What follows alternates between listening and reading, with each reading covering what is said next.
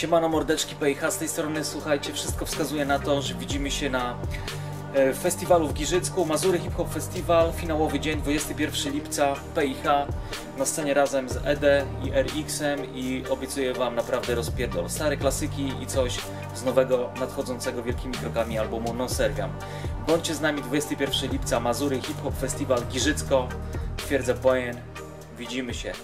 Najlepszego.